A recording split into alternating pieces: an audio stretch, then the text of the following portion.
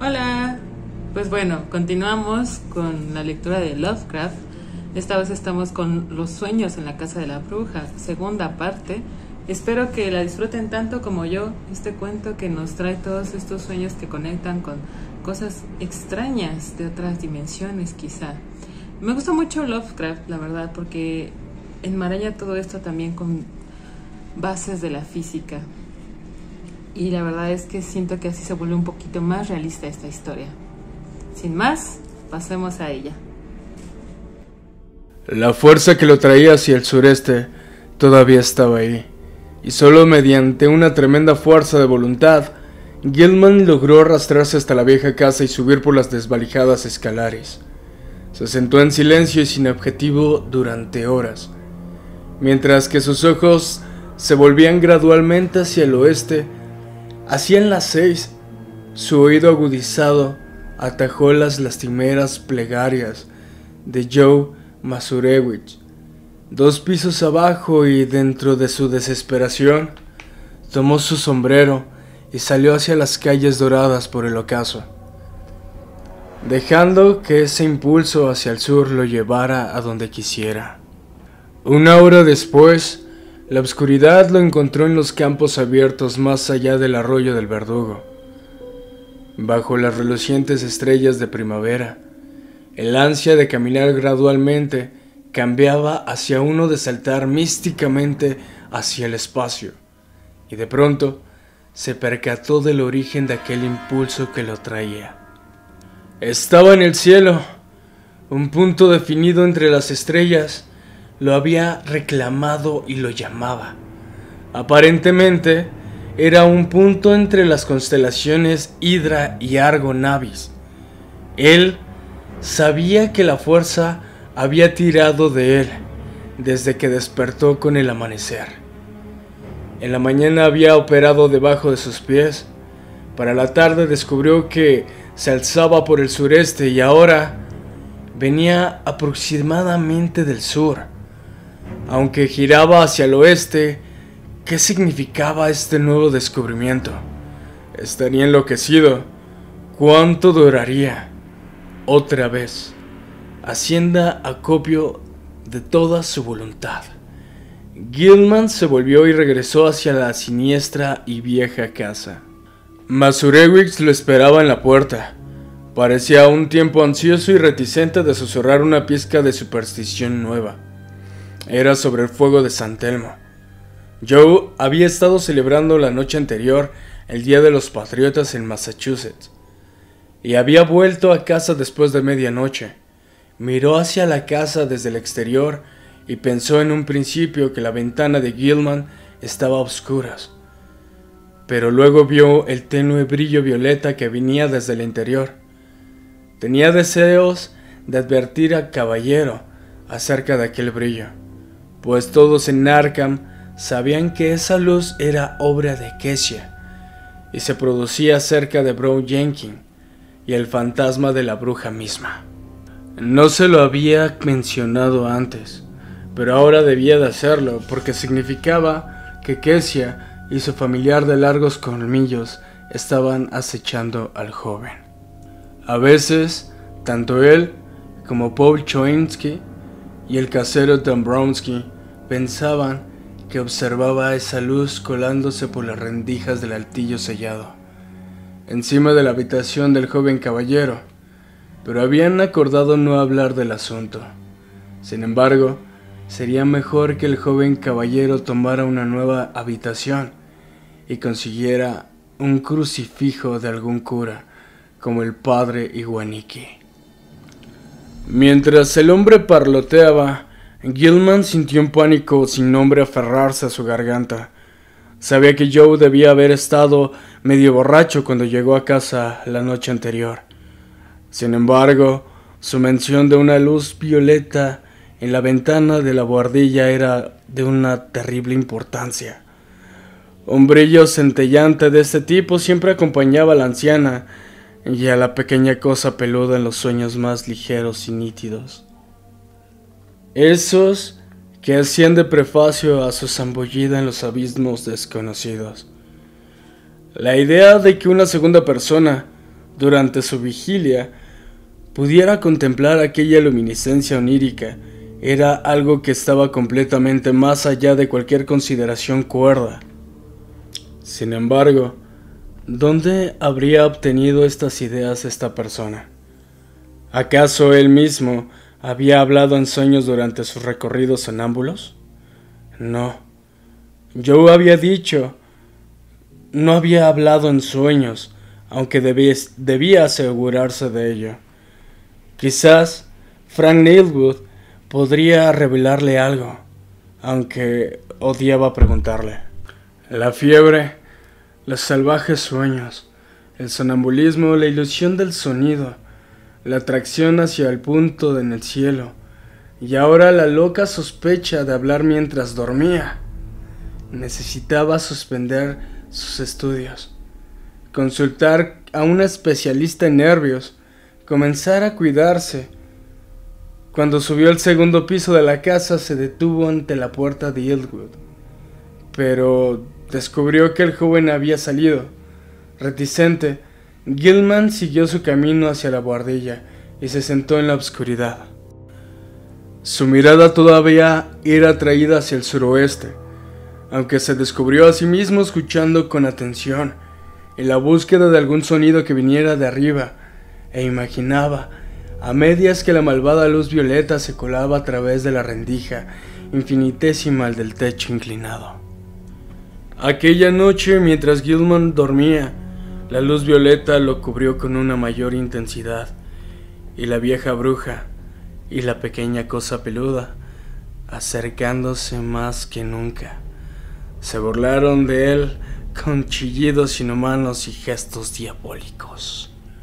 Él se sintió alegre de hundirse en los vagos y rugientes abismos crepusculares, aunque la persecución de aquellos conglomerados de burbujas iridiscentes y aquellos pequeños calidoscópicos poliedros era amenazadora e irritante. Luego hubo un cambio en el sueño mientras los vastos planos convergentes de una sustancia que parecía resbalosa se avecinaban por debajo y por encima de él. Un cambio que terminó en un destello del delirio y en una llamarada de alguna extraña y desconocida luz en el que el amarillo, el carmín y el índigo se mezclaban enloquecedora e inextricablemente. Él yacía a medias sobre una elevada terraza, balaustrada fantásticamente sobre una interminable jungla de extraños e increíbles montañas, planos inclinados, domos, minaretes, discos horizontales coronando pináculos y un sinnúmero de formas de todavía mayor extrañeza algunas de piedra y otras de metal, resplandecían hermosamente en la agitada y casi abrasadora mirada de un cielo policromático. Mirando hacia arriba, distinguió tres estupendos discos de fuego, cada uno de un tono distinto y con diferente altura sobre un horizonte curvo infinitamente distante, formado de montañas bajas. Detrás de él, Distintos niveles de terrazas más altas se elevaban tan lejos como alcanzaba a ver. La ciudad a sus pies se extendía más allá de los límites de su visión. Él esperaba que ningún sonido proviniera de ahí. El pavimento desde que él se levantó con facilidad era de una piedra pulida y veteada más allá de su capacidad para identificar. Las baldosas estaban cortadas en figuras de ángulos bizarros que le parecieron menos asimétricos que basadas sobre alguna simetría ultraterrena cuyas leyes no podría comprender.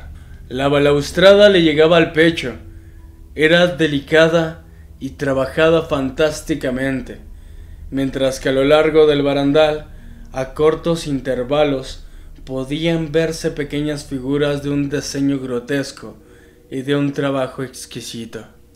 Ellas, como la balaustrada misma, parecían estar hechas de algún tipo de metal reluciente, cuyo color no podía adivinarse en el caos de refulgencias mezcladas. Su naturaleza desafiaba completamente toda conjetura.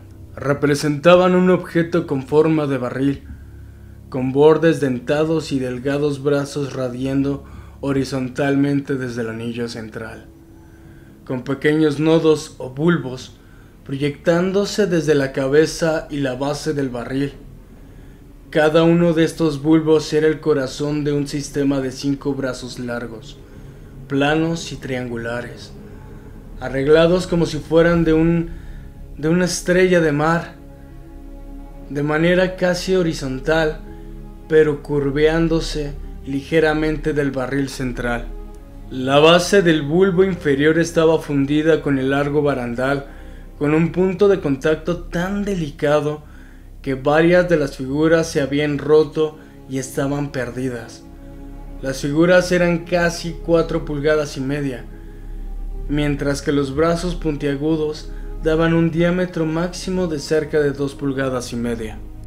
Cuando Gilman se levantó, sintió que las baldosas eran calientes bajo sus pies descalzos. Estaba completamente solo y su primera acción fue caminar hacia la balaustrada y mirar de manera atolondrada hacia la infinita ciudad ciclópea que yacía casi dos mil pies hacia abajo. Mientras escuchaba, creyó escuchar una confusión rítmica de unas flautas musicales lejanas que abarcaban un amplio registro tonal desde las estrechas calles. Luego, deseó poder discernir a los habitantes del lugar.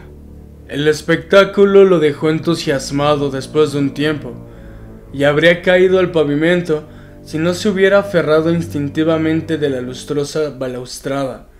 Su mano derecha cayó hacia una de las figuras que proyectaban sus brazos, y este tacto pareció tranquilizarlo ligeramente. Sin embargo, su tacto fue demasiado para la delicadeza exótica del trabajo en metal y la puntiaguda figura se rompió bajo su zarpa. Todavía aturdido a medias, siguió aferrándola mientras que su otra mano se cerraba en el espacio vacío del suave barandal. Ahora, sin embargo, su oído hipersensible descubrió que algo se ocultaba detrás de él por lo que miró hacia atrás a través de la terraza nivelada. Cinco figuras se acercaban con suavidad, aunque sin mostrarse furtivas, dos de las cuales eran la siniestra anciana y el peludo y pequeño animal y sus colmillos. Las otras tres fueron las que lo dejaron inconsciente, pues eran entidades vivas de casi ocho pies de alto formadas precisamente como las puntiagudas imágenes de la balaustrada, e impulsándose a sí mismas por un retorcimiento como de araña, del conjunto inferior de los brazos como los de las estrellas de mar. Gilman despertó en su cama, empapado en sudor frío y con una sensación de escosor en su rostro, manos y pies impulsándose como un resorte hacia el piso.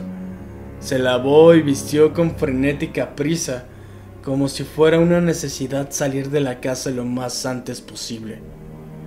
No sabía a dónde deseaba ir, pero sentía que una vez más tendría que sacrificar sus clases. La extraña atracción hacia ese punto en el cielo entre Hidra y Argo habían disminuido pero otra de mayor intensidad había tomado su lugar. Ahora sentía que tenía que ir hacia el norte, infinitamente hacia el norte. Temía cruzar el puente que servía para, mirar, para mirar la desolada isla en el Miskatonic, por lo que caminó sobre la avenida Peabody. A menudo tropezaba, pues sus ojos y oídos estaban encadenados a una extremadamente elevado punto en el cielo azul y vacío. Después de una hora logró recuperar un poco el control y vio que se encontraba lejos de la ciudad. A su alrededor se extendía el lúgubre vacío en los pantanos de sal, mientras que el estrecho camino delante suyo llevaba a Innsmouth, aquel pueblo casi desierto que la gente de Arkham se rehúsa a visitar. Aunque ese impulso de ir hacia el norte no había disminuido, logró resistirlo como al anterior y finalmente descubrió que podía equilibrar el uno contra el otro. Caminando pesadamente hacia el pueblo y deteniéndose por un café en la fuente de sodas, se arrastró hacia la biblioteca pública y hojeó las revistas de temas ligeros. Hubo un momento en el que se encontró con algunos amigos que se sorprendieron de cuán tostado por el sol parecía. Aunque decidió no contarles sobre su caminata, a las 3 de la tarde almorzó en un restaurante. Tomando nota de aquel impulso, se había dividido o disminuido. Después, mató el tiempo en un cine barato, mirando la estúpida representación una y otra vez sin prestarle mayor atención. A las nueve de la noche vagó con rumbo a casa, hasta tropezar con la antigua construcción. John Mazarewicz estaba gimoteando plegarias ininteligibles. Gilman se apuró hasta su propia habitación en la guardilla sin detenerse, a comprobar si Elwood estaba en casa. Recibió una fuerte impresión cuando encendió la débil luz eléctrica. De pronto, Vio que sobre la mesa yacía algo que no pertenecía a ese lugar. Una segunda inspección no dejó espacio para dudar. Recostada sobre uno de los lados, pues no podía permanecer de pie, estaba la exótica figura puntiaguda que en su monstruoso sueño se había desprendido de la fantástica balaustrada. No le faltaba un detalle.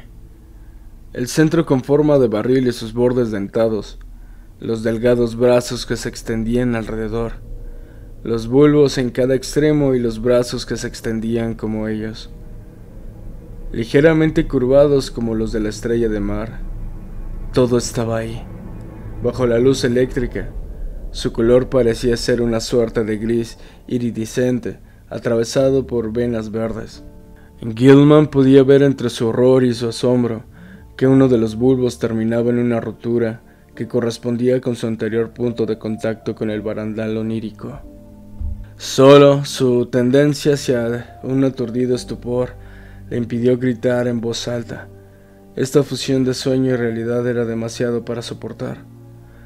Todavía aturdido, se aferró a esa cosa puntiaguda y luego se tambaleó escaleras abajo, hacia los aposentos del casero, Dombrowski, los quejumbrosos rezos del supersticioso reparador de telares todavía podían escucharse a través de los mohosos pasillos, pero no parecían importarle a Gilman. El casero estaba adentro y lo saludó cortésmente. No, no había visto esa cosa antes y no tenía idea de qué podría ser, pero su esposa había dicho que había encontrado una curiosa cosa de hojalata en una de las camas cuando hacía los cuartos al mediodía, y quizás esta era...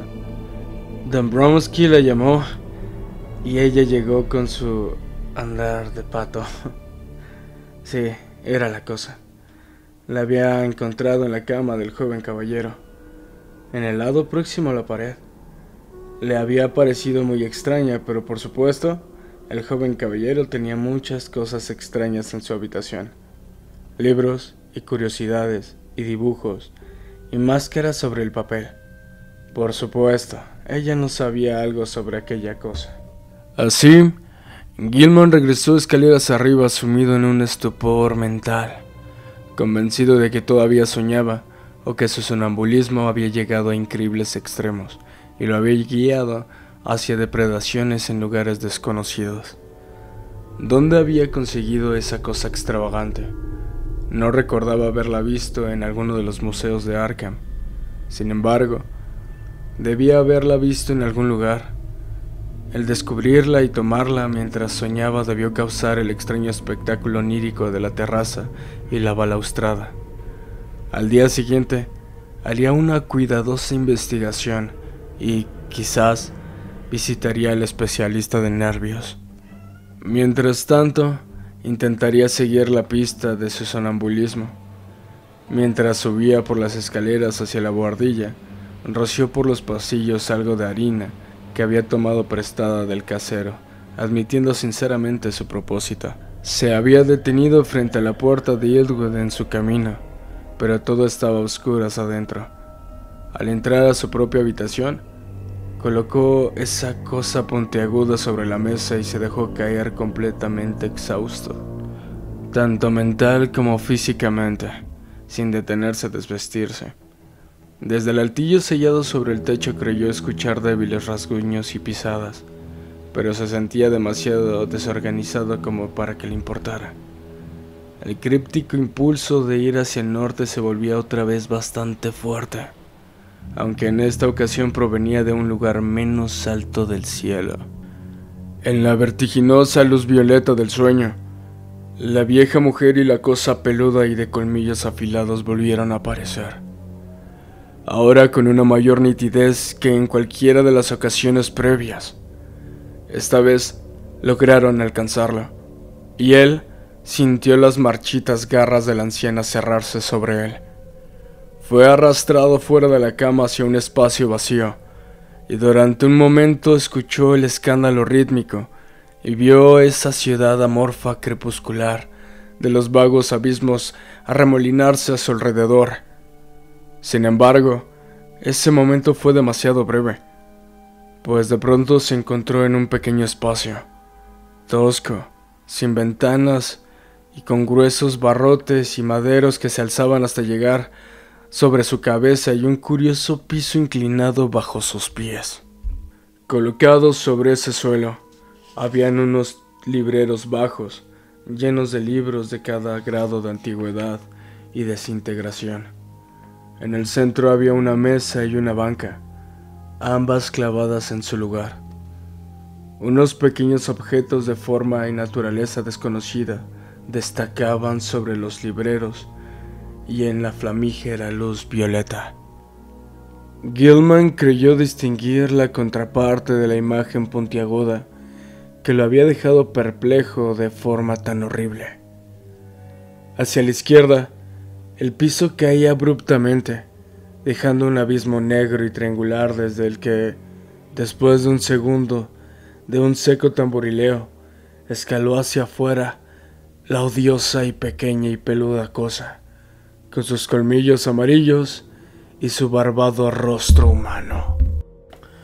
La anciana que sonreía malvadamente todavía lo aferraba y más allá de la mesa se erguía una figura que nunca había visto antes. Un hombre alto y delgado, de color negro y muerto, pero sin el menor rastro de rasgos negroides. No tenía pelo o barba, y su única indumentaria era una túnica sin forma, de algún material negro y pesado. Era imposible distinguir sus pies debido a la tabla y a la mesa, pero debía, debía de estar calzado, pues escuchaban chasquidos cada vez que cambiaba de posición. El hombre no hablaba y no exhibía algún rastro de expresión en sus pequeños irregulares rasgos. Se limitó a señalar hacia un libro de prodigioso tamaño que yacía abierto sobre la mesa mientras la anciana incrustaba una enorme pluma gris en la mano derecha de Gilman. Sobre todo se extendía una cortina de temor intensamente enloquecedor. El clímax llegó cuando la cosa peluda corrió por la ropa del soñador hasta sus hombros y luego bajo su brazo izquierdo mordiéndolo al fin con fuerza sobre la muñeca. Apenas bajó el puño de su camisa mientras manaba sangre de su herida. Gilman se desvaneció. Despertó en la mañana del 22 con un agudo dolor en su muñeca izquierda y comprobó que el puño de su camisa estaba manchado de sangre seca. Sus recuerdos eran sumamente confusos, pero la escena con el hombre negro en el espacio desconocido se realizaba vivamente. Las ratas debían haberlo mordido mientras dormía, dando pie al clímax del tenebroso sueño. Después de abrir la puerta de su habitación, vio que la harina sobre el pasillo no había sido perturbada, salvo por las enormes huellas del tosco individuo que dormía en el otro extremo de la buhardilla. Pero era necesario hacer algo sobre esas ratas. Planeaba discutirlo con el casero. Otra vez intentó rellenar el agujero en la base de la pared inclinada, incrustando el candelero que parecía ser del tamaño adecuado. Su oído zumbaba horriblemente, como con los ecos residuales de algún horrendo ruido escuchado en los sueños. Mientras se bañaba y se cambiaba de ropa, intentó recordar qué había soñado después de la escena en el lugar iluminado por la luz violeta pero nada definido se cristalizaba en su mente.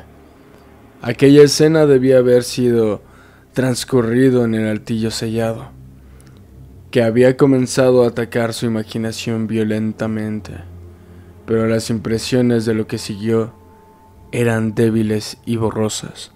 Había indicios de los vagos abismos crepusculares y de los todavía más grandes y negros abismos más allá de ellos, unos de los que todos los indicios fijos de la forma estaban ausentes. Habría sido llevado ahí por los conglomerados de burbujas y los pequeños poliedros que siempre lo seguían. Pero ellos, como él mismo, se habían vuelto volutas de una niebla lechosa y apenas luminosa en este lejano vacío de negrura más definitiva. Algo había sucedido más adelante. Una voluta más grande que de vez en cuando se condensaba en aproximaciones a la forma inenarrable.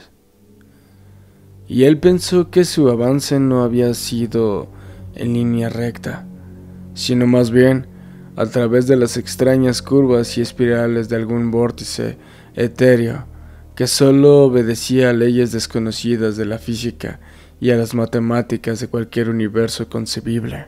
Eventualmente, hubieron indicios de unas vastas sombras acechantes, de un pulso monstruoso y casi acústico, y del débil y monótono trinar de una flauta invisible. Pero esto fue todo. Gilman concluyó que había tomado esta última concepción de lo que había leído en el Necronomicon sobre la despreocupada entidad Astatot, que reina sobre el tiempo y el espacio desde un trono negro, curiosamente labrado en el centro del caos. Después de que limpió toda la sangre, descubrió que la herida en su muñeca era poco profunda. Gilman se sentía perplejo por la localización de las dos pequeñas perforaciones. Recordó que no había sangre en las sábanas de la cama en las que había yacido. Algo curioso tomando en cuenta la cantidad que había en su piel y en el puño de su camisa. ¿Había andado sonámbulo dentro de su habitación? ¿Acaso la rata lo había mordido en alguna silla o en alguna pausa en un punto menos racional. Buscó por todos lados intentando hallar gota o manchas de sangre, aunque no encontró algo. Quizás, pensó, sería mejor esparcir harina dentro de su habitación, además de afuera, aunque no necesitara más pruebas de su sonambulismo. Sabía que lo hacía, y ahora lo que necesitaba era detenerlo. Pediría ayuda a Frank Gilwood esta mañana. Los extraños impulsos desde el espacio parecieron amainar, aunque fueron reemplazados por otra sensación incluso más inexplicable. Un vago e insistente impulso de volar para alejarse de su presente situación, aunque no tuviera la menor idea de la dirección en la que deseaba hacerlo. Mientras tomaba la extraña y puntiaguda imagen que yacía en la mesa, creyó que el impulso de ir hacia el norte se hacía casi imperceptiblemente más fuerte, incluso así, estuvo completamente dominado por esa ansia más nueva y enloquecedora. Llevó la figura puntiaguda a la habitación de Ilwood, fortaleciéndose contra las quejas del reparador de telares que brotaban desde la planta baja. Ilwood estaba en casa, gracias al cielo, y parecía que se movía en el interior. Tenía un poco para una pequeña conversación antes de que se fuera a desayunar y luego a la universidad por lo que Gilman vertió apuradamente un recuento de sus recientes sueños y temores.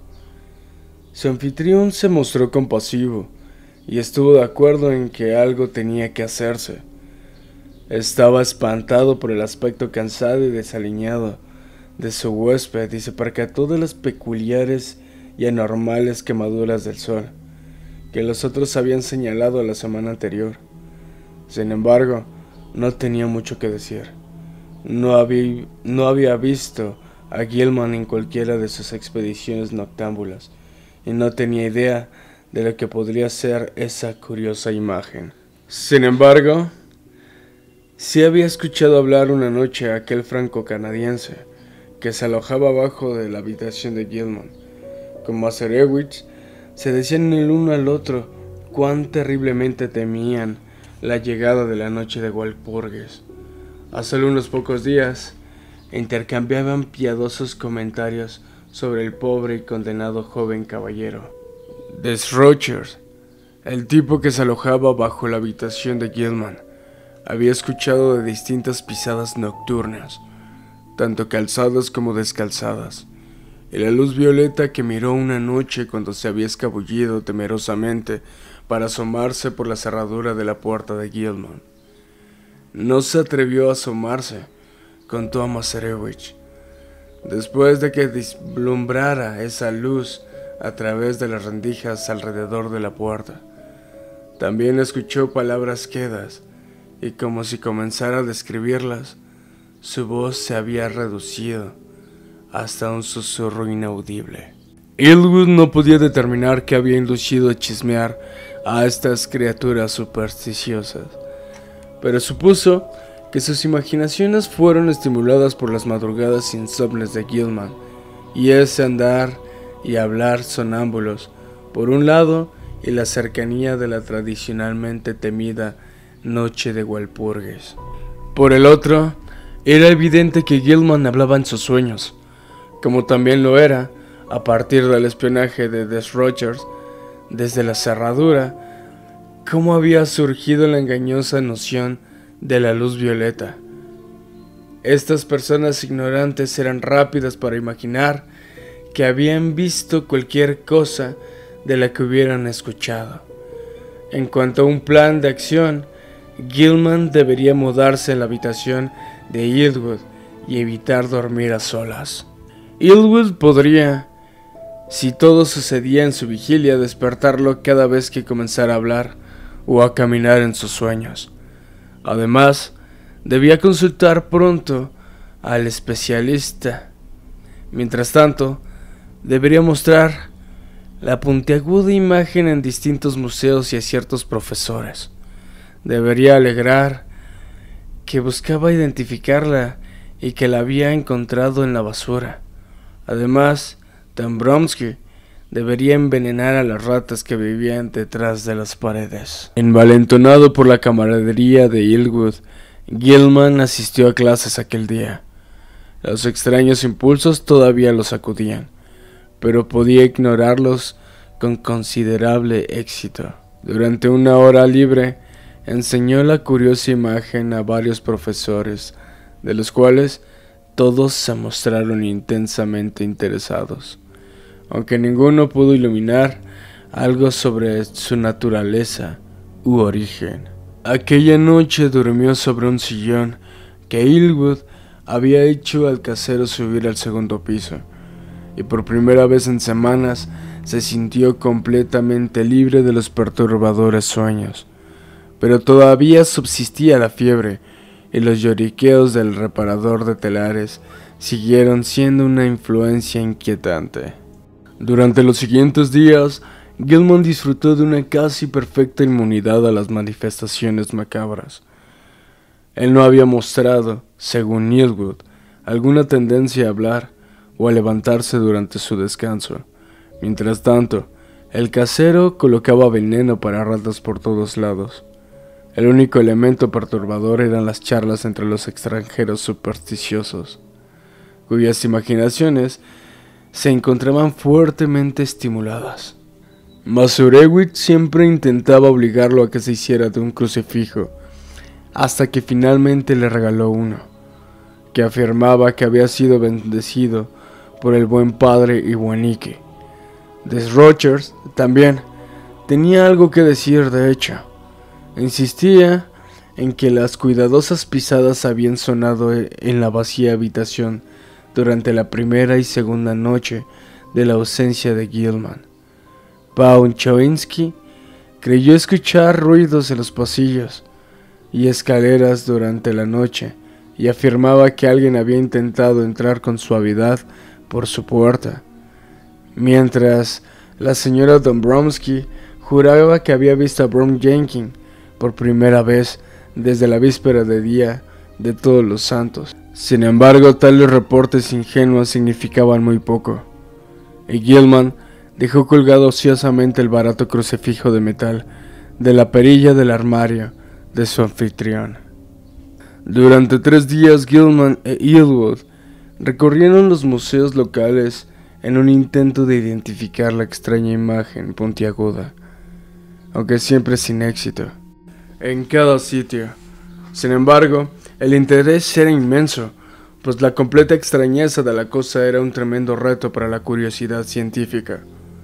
Rompieron uno de los pequeños brazos que surgían del centro del barril para ser sujeto a análisis químicos, cuyos resultados todavía se discuten hoy en los círculos universitarios. El profesor Ellery encontró platino, hierro y telurio en la extraña aleación, pero mezclado. Entre ellos había al menos tres otros elementos de gran peso atómico que la química era incapaz de clasificar. No solo no correspondían a alguno de los elementos conocidos, sino que tampoco llenaban los espacios vacíos reservados para elementos probables en la tabla periódica. El misterio sigue sin ser resuelto para este día, aunque la imagen siga en exhibición en el Museo de la Universidad Miskatonic. En la mañana del 27 de abril, una nueva ratonera apareció en la habitación en la que Gilman era invitado.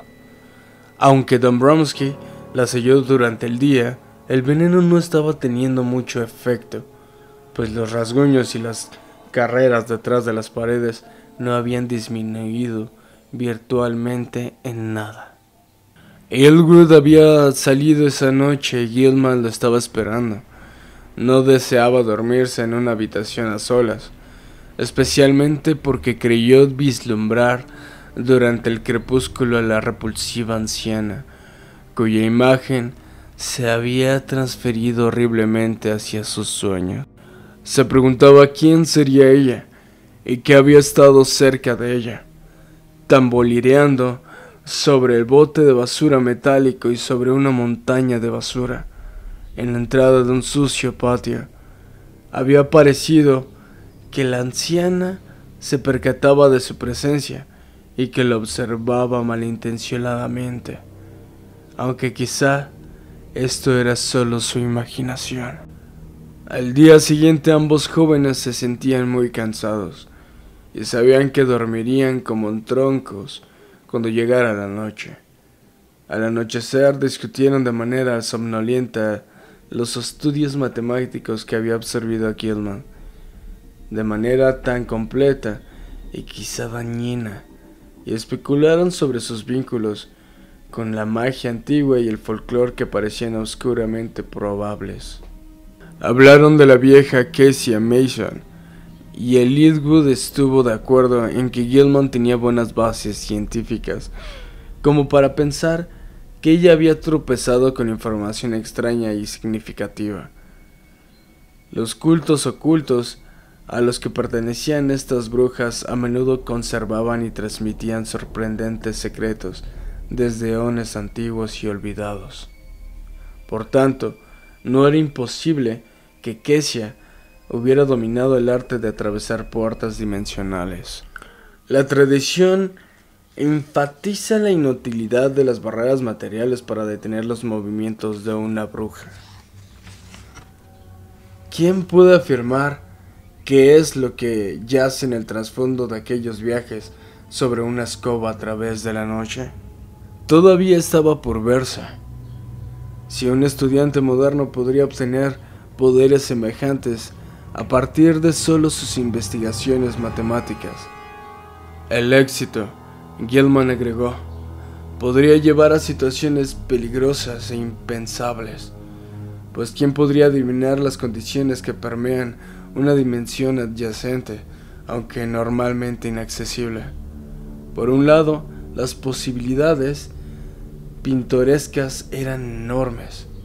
El tiempo podría no existir en ciertas franjas del espacio y al entrar y permanecer en tales lugares, uno podría preservar su propia vida y edad de manera indefinida, sin sufrir deterioración o metabolizaciones orgánicas, salvo las que suceden durante las visitas a planos similares al propio. Uno podría, por ejemplo, pasar hacia una dimensión atemporal, y emerger después de un periodo remoto de la historia de la Tierra, tan joven como antes. Difícilmente podría conjeturarse con cualquier grado de autoridad si alguien había sido capaz de lograr esto. Las viejas leyendas son difusas y antiguas. En tiempos históricos, todo intento de cruzar las brechas prohibidas parecían complicarse por extrañas y terribles alianzas con seres y mensajeros del exterior. Existía la inmemorial figura que fungía como representante o mensajero de poderes ocultos o terribles, como el hombre negro de los cultos brujas y Nyarlathotep del Necronomicon. Además, estaba también el desconcertante problema que suponía los mensajeros menores o intermediarios. Los cuasi animales en los extraños híbridos que las leyendas eran representados como los familiares de las brujas. Mientras Gilman y Ilgun se despedían demasiado cansados para seguir discutiendo, escucharon llegar, borracho a la casa, a Joe Maserowicz y se estremecieron con la idea de escuchar los locos disparates de sus quejumbrosas plegarias. Aquella noche Gilman contempló de nuevo la luz violeta.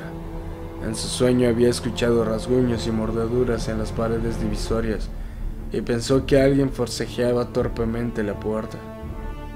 Luego miró a la anciana y a la pequeña cosa peluda avanzar hacia él sobre el piso alfombrado. La cara de la bruja estaba encendido con un júbilo inhumano y la cosa pequeña de colmillos amarillos chillaba macabramente burlándose mientras apuntaba la forma durmiente de Ilwood en el otro sillón del otro lado del cuarto. La parálisis por medio ahogó todo intento de gritar. Como en la ocasión anterior, la horrible anciana se aferró a Gilman por los hombros, arrastrándolo de una cama hacia el espacio vacío. Otra vez, una infinitud de rugientes abismos crepusculares centelló ante él, aunque un segundo más tarde creyó encontrarse en un callejón oscuro y lodoso, lleno de olores fétidos, con las paredes putrefactas de las antiguas casas elevándose a cada lado. Adelante estaba el hombre negro, vestido con su túnica, que había visto en el espacio del otro sueño, mientras que a una distancia menor la anciana lo llamaba con gestos imperiosos. Brown Jenkins se frotaba como en una suerte de juego afectivo contra los tobillos del hombre negro, que el profundo barro ocultaba mayoritariamente. Había un portal abierto hacia la derecha, hacia el que el hombre negro apuntaba en silencio. Hacia allá comenzó a dirigirse la anciana que gesticulaba, arrastrando a Gilman detrás de sí por la manga de su pijama. Había unas escaleras que hedían a maldad y que crujían ominosamente sobre las que la anciana parecía irradiar una tenue luz violeta. Y finalmente una puerta que llevaba a un descanso. La anciana forcejeó con la cerradura y empujó la puerta hasta abrirla, indicándole con gestos a Gilman que esperara, para luego desaparecer por la negra abertura. El oído hipersensible del joven atropó un horrendo grito ahogado. Luego, la vieja bruja salió de la habitación cargando una forma pequeña y sin sentido que arrojó hacia el soñador, como si le ordenara cargarla. El espectáculo de esta forma y la expresión de su rostro rompieron el hechizo. Todavía demasiado aturdido como para gritar, se lanzó temerariamente por la ruidosa escalera hacia el barro. Solo se detuvo cuando el hombre negro lo aferró por el cuello. Mientras su conciencia se desvanecía, escuchó los débiles y estridentes chillidos, como risas nerviosas, de la aberración parecida a una rata. La mañana del 29, Gilman despertó en una vorágine de horror. Para el instante en el que abrió los ojos supo que algo había salido terriblemente mal, pues estaba de nuevo en su habitación, en la buhardilla, con sus techos y paredes inclinadas. Desparramado sobre la cama deshecha, su garganta estaba inexplicablemente adolorida, y mientras luchaba por incorporarse, observó con creciente temor que sus pies y su pijama estaban manchados por barro. De momento sus recuerdos eran irremediablemente borrosos, pero sabía al menos que había vagado de manera sonámbula Elwood debía haber estado bajo un sueño demasiado profundo para escuchar y detenerlo. Sobre el piso había una confusión de huellas lodosas, pero extrañamente no se extendían hasta la puerta. Mientras más miraba Gilman, más peculiares le parecían, pues, además de que aquellas que podía reconocer como suyas, detectó unas marcas más pequeñas, casi redondas, como las que haría una silla o una mesa, salvo que la mayoría tendía a estar dividida por la mitad. También había unas extrañas huellas lodosas de ratas, yendo y viniendo de una nueva ratonera. Un completo asombro y el temor de la locura sacudieron a Gilman, mientras se tambaleaba hacia la puerta y comprobaba que no habían huellas en el pasillo.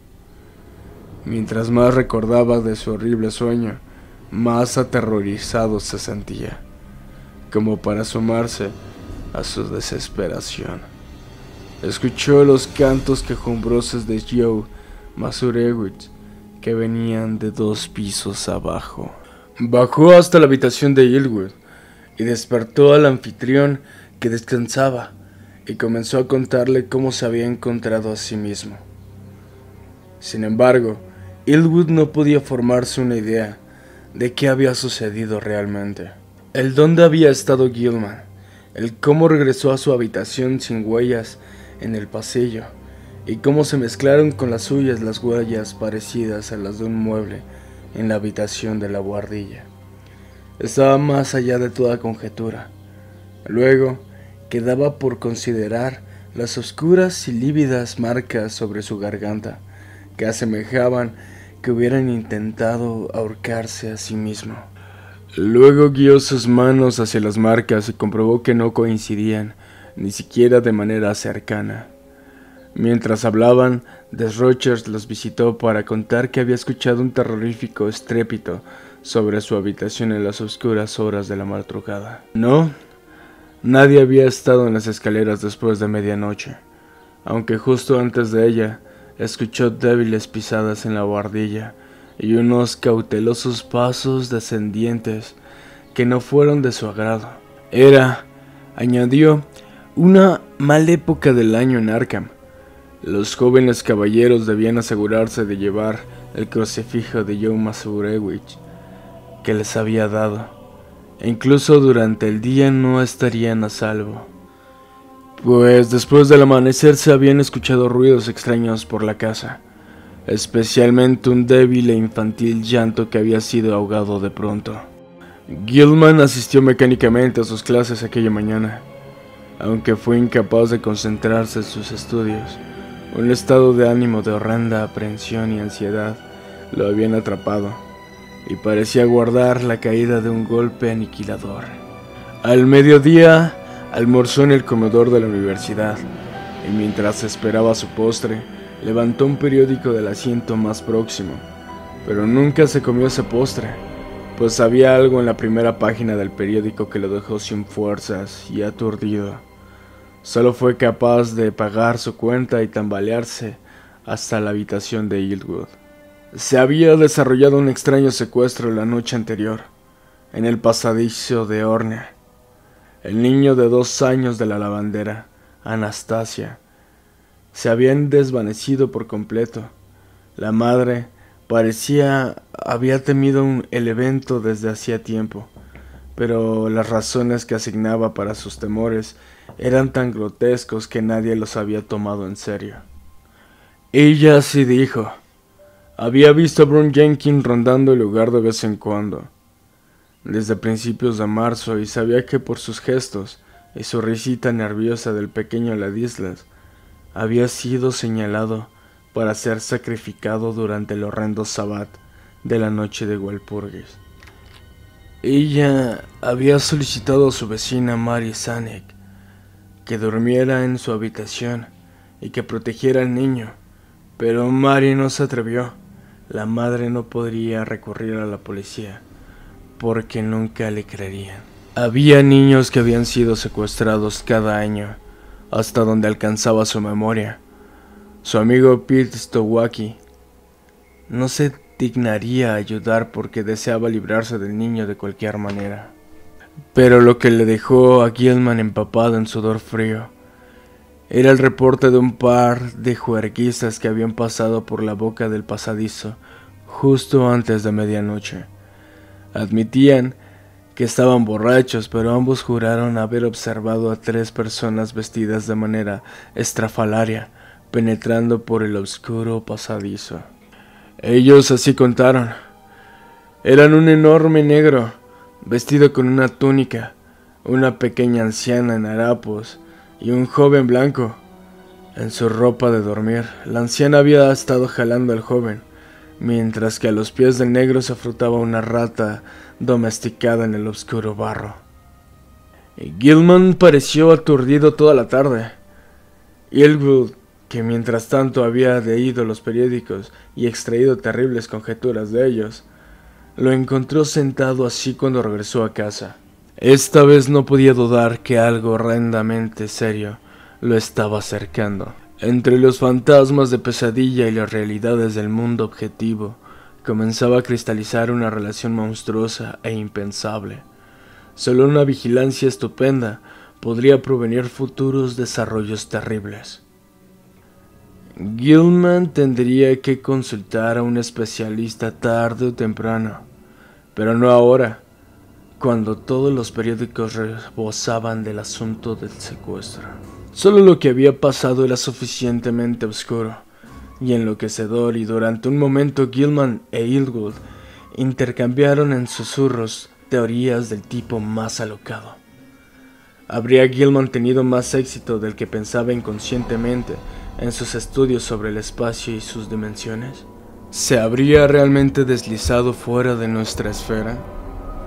hacia puntos imposibles de adivinar o imaginar. ¿Dónde? Si acaso había un. Había estado aquellas noches de demoníaco deambular.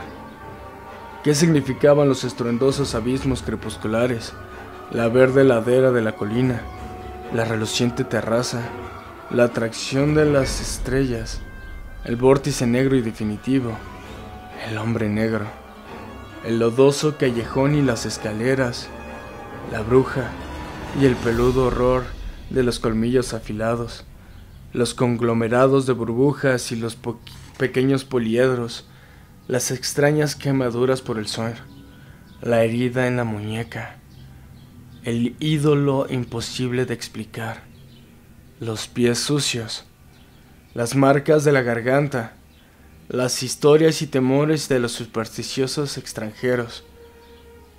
¿Hasta qué punto las leyes de la cordura se, se aplicaban en un caso así? Aquella noche ninguno de los dos sintió la necesidad de dormir, pero el día siguiente ambos faltaron a clase y dormitaron. Esto fue el 30 de abril.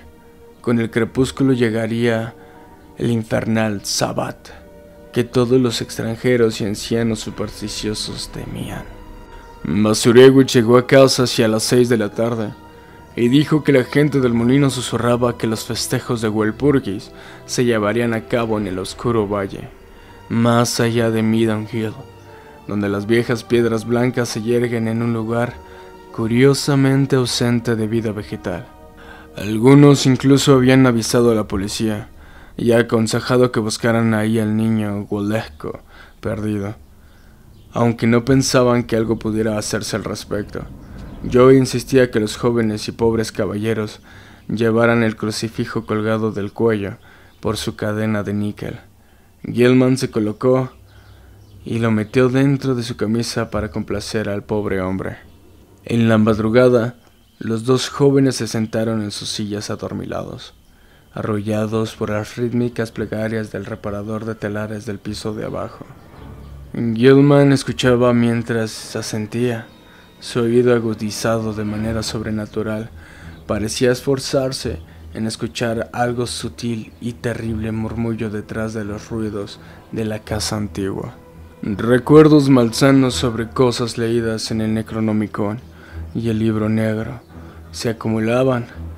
Se encontró a sí mismo meciéndose al ritmo nefasto que pertenecía a las más oscuras ceremonias del Sabbat y que tenía un origen fuera del tiempo y espacio que comprendemos.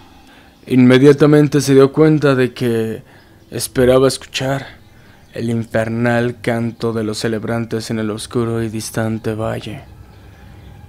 ¿Cómo sabía tanto sobre qué esperar? ¿Cómo conocía el momento en el Canaab y su acólito debían llevar el rebosante cuenco seguirían el gallo negro y a la cabra negra. Vio que Ilgud se había quedado dormido y trató de llamarlo y despertarlo. Algo, sin embargo, cerró su garganta. No era amo de sí mismo.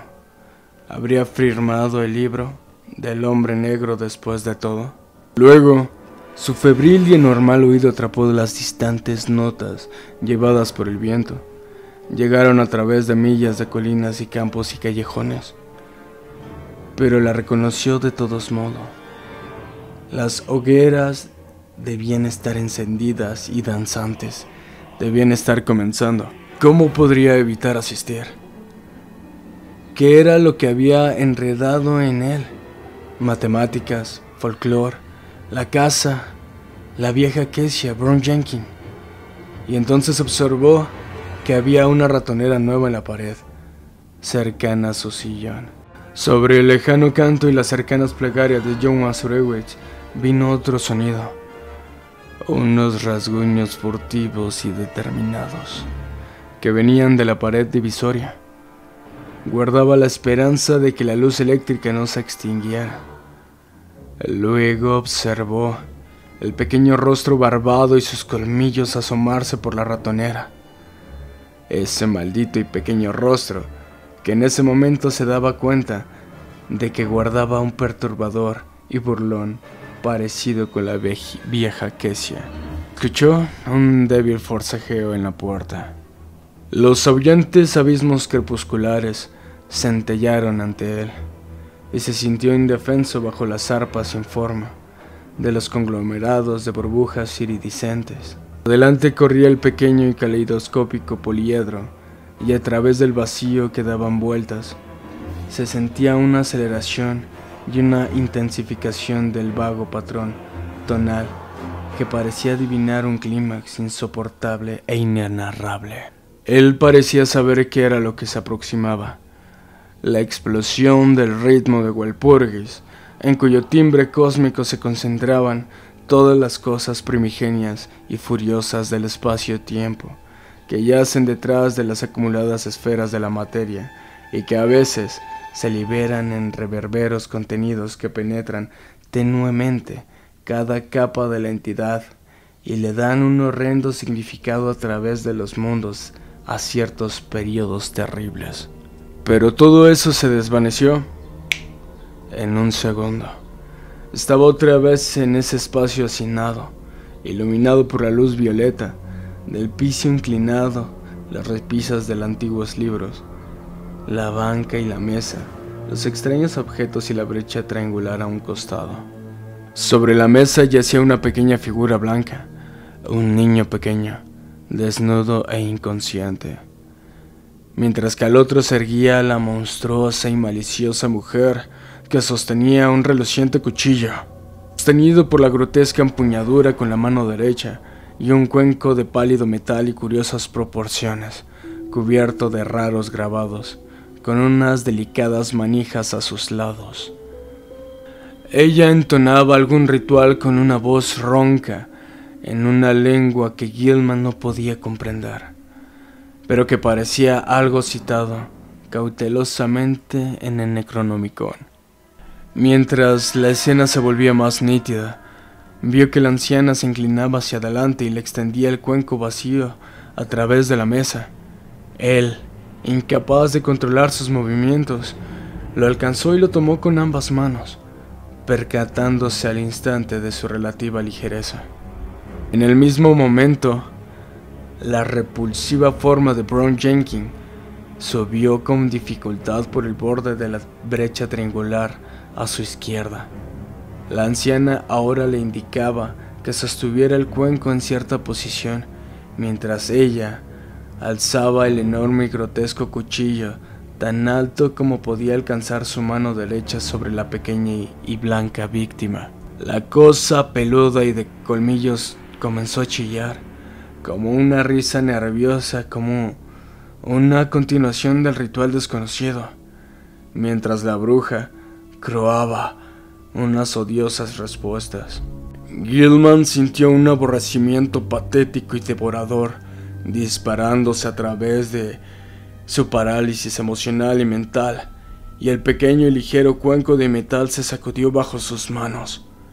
Un segundo después, el movimiento hacia abajo del cuchillo rompió el hechizo por completo y dejó caer el cuenco con un resonante estruendo como de una campana mientras sus manos se lanzaban hacia adelante frenéticamente para intentar detener la monstruosa hazaña. En un instante había dado la vuelta a la mesa por el piso inclinado y arrebatado el cuchillo de las garras de la anciana, arrojándolo después sobre el borde de la estrecha brecha triangular. Otro instante después, sin embargo, las cosas se habían invertido, pues aquellas garras asesinas se habían trabado fuertemente alrededor de su garganta, mientras que el viejo y arrugado rostro estaba contorsionado y enloquecido por la furia. Sintió que la cadena del barato crucifijo se enterraba en su cuello, y en medio del peligro se preguntó cómo la contemplación del objeto mismo afectaría a la malvada criatura. Su fuerza era sobrehumana, pero mientras ella lo estrangulaba, él buscó débilmente dentro de su camisa y extrajo el símbolo de metal, arrancándolo de la cadena y liberándolo. La bruja fue inundada de pánico por la contemplación del símbolo, y su zarpa se relajó lo suficiente como para que Gilman pudiera liberarse de ella por completo. Él retiró aquellas garras, tan fuertes como el acero, de alrededor de su cuello y había arrastrado a la anciana hasta el borde de la brecha si las garras no hubieran recibido acceso a nuevas reservas de fuerza y se cerraran de nuevo. Esta vez, él decidió contestar de la misma manera y sus propias manos se dirigieron hacia la garganta de la criatura. Antes de que se diera cuenta de lo que hacía, él envolvió su cuello con la cadena del crucifijo y un momento después lo apretó lo suficiente como para cortarle el aliento. Durante este último forcejeo sintió que algo mordía su tobillo y vio que Bron Jenkins había venido a su ayuda. Con una salvaje patada envió a la aberración sobre el borde de la brecha y la escuchó gimotear en algún nivel inferior. No sabía si había logrado matar a la anciana, pero su cuerpo descansaba sobre el piso donde había caído. Luego, mientras volvía, miró sobre la mesa algo que casi cortó la última hebra de cordura. Brown Jenkins, de fuertes músculos y con sus cuatro pequeñas manos de demoníaca destreza, había estado ocupado mientras la bruja intentaba estrangularlo, y todos sus esfuerzos habían sido en vano. Lo que había impedido al cuchillo hacer sobre el pecho de la víctima, los colmillos amarillentos de la blasfemia peluda habían hecho sobre la muñeca, y el cuenco que hasta hacía poco a esto en el piso estaba lleno a un costado del pequeño cuerpo sin vida. En su delirio onírico, Gilman escuchó el infernal canto del extraño ritmo del sabbat, llegando desde una distancia infinita, y supo que el hombre negro debía estar ahí. Recuerdos confundidos se mezclaron con sus matemáticas, y en su mente subconsciente creyó descubrir los ángulos que necesitaba para guiarse hacia el mundo normal. Solo y sin ayuda. Por primera vez se sentía seguro de que se encontraba en el altillo sellado desde el tiempo inmemorial sobre su propia habitación, pero dudaba que pudiera escapar por el piso inclinado u otra salida. Además, ¿acaso escapar del altillo onírico no lo llevaría únicamente a la casa onírica, una proyección anormal del verdadero lugar que buscaba? Se sentía completamente asombrado por la relación entre el sueño y la realidad en todas sus experiencias. El paso a través de los vagos abismos sería aterrador, pues el ritmo de Walpurgis estaría vibrando y finalmente tendría que escuchar el velado pulso cósmico que tenía mortalmente. Incluso ahora podía detectar una vibración baja y monstruosa, cuyo tiempo conocía demasiado bien. En el tiempo del Sabbat siempre se incrementaba y alcanzaba a través de los mundos para convocar al iniciado a ritos inenarrables. La mitad de los cantos del Sabbat derivaban su patrón de este punto, apenas escuchado y que ningún oído terrestre podía soportar en su plenitud espacial y desnuda. Gilman se preguntaba también si podía confiar en su instinto para guiarlo de vuelta a la parte correcta del espacio. ¿Cómo podría asegurarse de no aterrizar en la ladera de una colina iluminada por luz verde de un planeta lejano o en la terraza tacelada sobre la ciudad de los monstruos llenos de tentáculos? En algún lugar más allá de la galaxia o en los vórtices oscuros y espirales del último vacío del caos, donde reina el insensible demonio sultán, Asatot. Justo antes de zambullirse, la luz violeta se extinguió y quedó abandonado en la completa oscuridad. La bruja, la vieja Kesia, Nahab, debía haber encontrado su muerte, y mezclado con el canto distante del Sabbat y los quejidos de Brown Jenkins en la brecha, creyó escuchar otro quejido más salvaje de las profundidades desconocidas.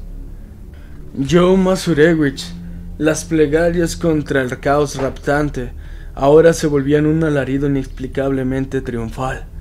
Mundos de una realidad sardónica transgredían sobre su cuerpo. Algo había consumido su camino hacia su corazón. Dombrowski Frenético ante el fracaso de sus esfuerzos por envenenar a las ratas, abandonó todo pensamiento sobre sus rentas y en menos de una semana había trasladado a todos sus antiguos inquilinos a una destartalada casa, aunque menos antigua, en Walnut Street.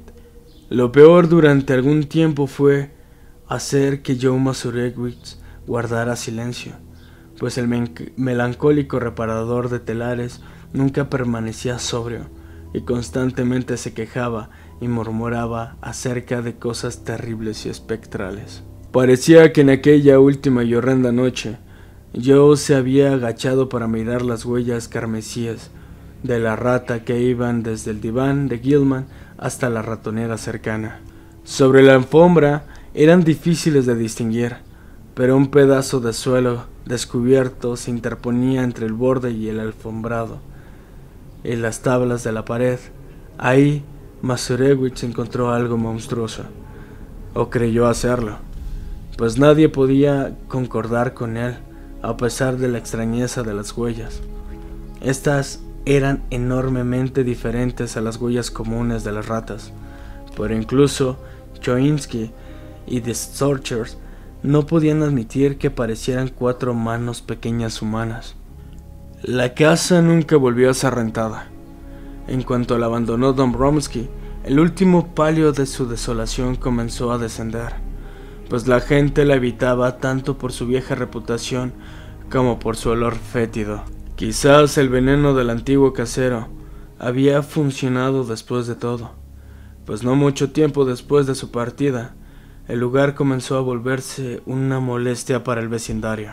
Los inspectores de salubridad rastrearon el hedor hasta los espacios hallados de la guardilla del este y estuvieron de acuerdo en que el número de ratas muertas debía ser inmenso. Decidieron, sin embargo, que no valía la pena derribar los muros y desinfectar los espacios sellados, pues la fetidez desaparecería pronto y la localidad no era una la que propiciara estándares quisquillosos. Ciertamente, abundaron leyendas locales sobre la fuente de los inexplicables olores de las plantas superiores de la casa de la bruja después de la noche de Walpurgis y el día de todos los santos. Los vecinos aceptaron a regañadientes la inercia, pero la fetidez se volvió otro punto en contra del lugar. Hacia el final, la casa fue nombrada como no apta para ser habitada por el inspector. Los sueños de Gilman y las circunstancias que los rodearon nunca han sido explicados. Ilwood, cuyos pensamientos sobre todo el episodio en ocasiones son casi enloquecedores, regresó a la universidad en el otoño y se graduó al siguiente junio. Descubrió que los rumores espectrales del pueblo habían disminuido, y es un hecho. Más allá de que algunos reportes sobre algunos chillidos fantasmales como risas nerviosas en la casa abandonada han perdurado el mismo tiempo que el edificio mismo. Que ninguna aparición de la vieja Kesia o de Brown Jenkins ha sido mencionada desde la muerte de Gilman. Es un hecho afortunado que Ilwood no se encontrara en Arkham a finales del año, cuando ciertos eventos renovaron abruptamente los rumores locales sobre antiguos horrores. Por supuesto, escuchó sobre el asunto después y sufrió tormentos indecibles de negra y alocada especulación, pero incluso no era tan malo como una cercanía real y varios espectáculos posibles. En marzo de 1931, el fuerte viento destruyó el techo y la gran chimenea de la vacía casa de la bruja. Así, un caos de ladrillos derrumbados y tejas ennegrecidas y cubiertas de moho y planchas y maderos putrefactos cayeron hacia el taltillo y atravesaron el piso. Toda la planta del ático se atascó de escombros, aunque nadie se tomó la molestia de perturbar el desorden antes de la inevitable demolición de la estructura decrépita. El último paso vino el siguiente diciembre, cuando la vieja habitación de Gilman fuera vaciada por unos trabajadores reticentes y aprensivos. Entonces comenzaron los rumores. Entre los escombros que cayeron desde el antiguo techo inclinado, habían varias cosas que hicieron que se detuvieran los trabajadores y que llamaran a la policía. Luego los oficiales mandaron llamar al forense y a varios profesores de la universidad.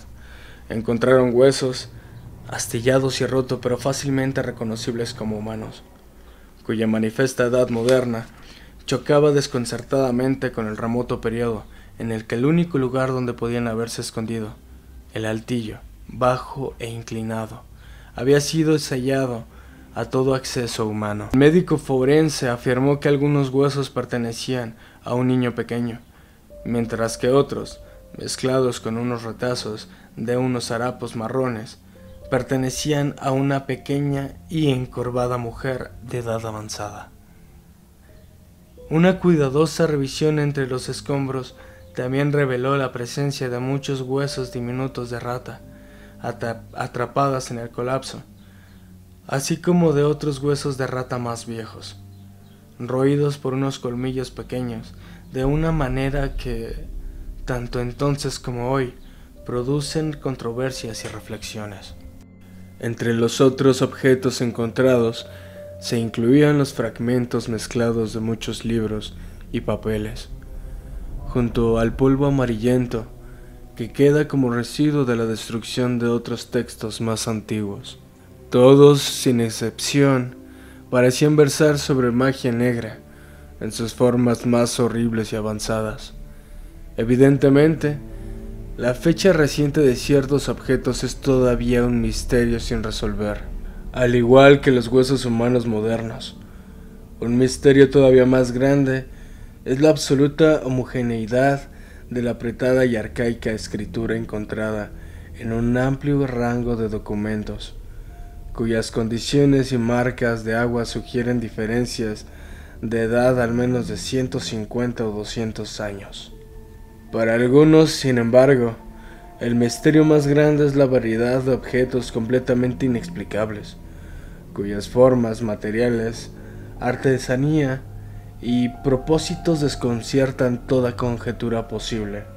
Encontrados esparcidos entre los escombros con diversos niveles de daño. Una de estas cosas, que entusiasmó profundamente a varios profesores de Miskatonic, era una monstruosidad bastante dañada que se parecía a la extraña imagen de Gilman que había llevado al museo de la universidad. Salvo que era más grande y estaba labrada a partir de una peculiar piedra azulada, en lugar de metal, y poseía un pedestal con singulares ángulos que contenían unos petroglifos indescifrables. Los arqueólogos y antropólogos todavía intentan explicar los diseños bizarros grabados sobre el cuenco aplastado de metal, cuyo lado interior mostraba unas ominosas manchas marrones cuando lo encontraron. Los extranjeros y las abuelas crédulas igualmente parloteaban sobre el moderno crucifijo de níquel y su cadena rota mezclados entre los escombros, y que fue identificado por Joe Masarewicz, estremecido como el que le había regalado al pobre Gilman muchos años atrás. Algunos piensan que este crucifijo fue arrastrado hacia el altillo sellado por las ratas.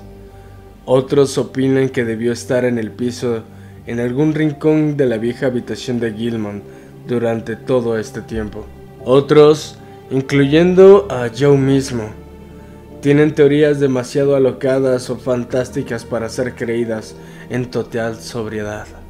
Cuando la pared inclinada de la habitación de Gilman fue derribada, el espacio triangular entre la pared norte de la casa y la pared divisoria, hasta entonces sellado, contenían menos escombros estructurales que el resto de la habitación. Incluso en proporción a su tamaño, aunque una capa espantosa de materiales más viejos paralizaron con horror a los trabajadores. En breve, el piso era un auténtico osario, lleno de huesos de niños pequeños, algunos relativamente modernos, otros extendiéndose hacia atrás en infinitas gradaciones, hacia un periodo tan remoto que el deterioro era casi completo. En esta profunda capa de huesos descansaba un cuchillo de gran tamaño, una evidente antigüedad, de un diseño grotesco, ornamentado y exótico, sobre el que se apilaban los escombros. En medio de esos escombros, incrustado entre una tabla caída y un cúmulo de ladrillos de la arruinada chimenea, había un objeto destinado a causar mayor perplejidad. Velado, temor y abiertas habladurías supersticiosas en Arkham, que cualquiera de los otros descubiertos en el edificio maldito y embrujado. Este Era el esqueleto parcialmente aplastado de una enorme y enferma rata, cuyas anormalidades son todavía tema de debate y fuente de una singular reticencia entre los miembros del Departamento de Anatomía Comparada de la Universidad de Miskatonic. Se ha filtrado solo un poco de información sobre el esqueleto, pero los trabajadores que lo encontraron todavía susurran en tonos aterrados sobre los largos cabellos marrones con los que lo asociaban.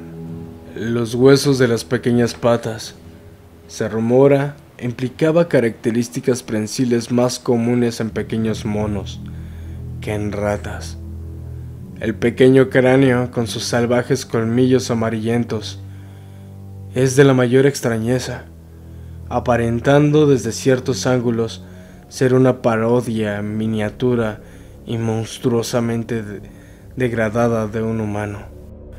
Los trabajadores se persignaron, temerosos cuando dieron con esta blasfemia, aunque luego encendieron velas agradeciendo a la iglesia de San Estanislao, porque el fantasmal y agudo chillido, como risa nerviosa, jamás volvería a ser escuchado.